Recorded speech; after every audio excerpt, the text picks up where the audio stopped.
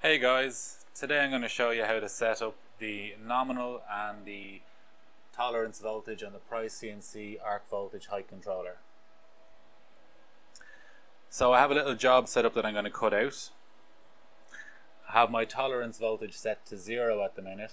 I'm going to increase that so that the torch only goes up and down when it needs to as opposed to continually going up and down and the nominal voltage here is currently set to 100 that's not the correct voltage for this cut but I'm going to let the height controller set itself and I'll show you how this is done.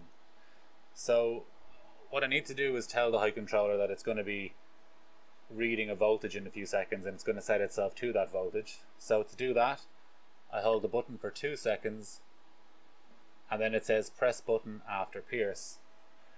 Then I go up to Mach 3 turn on my THC I'm going to start running my job now and then after it's pierced I'm going to press the button on the height controller and it's going to measure the voltage for two seconds and then it's going to ask me if I want to set the nominal voltage to the measured voltage. And I'm going to confirm that and accept it. And then I'll adjust the tolerance voltage till the torch stops going up and down needlessly. So we'll start this job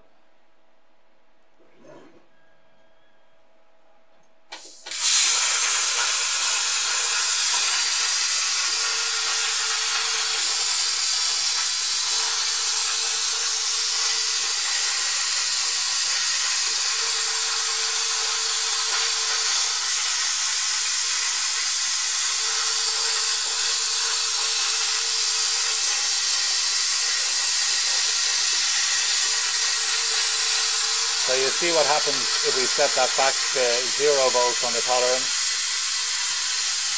Endless up and down signals.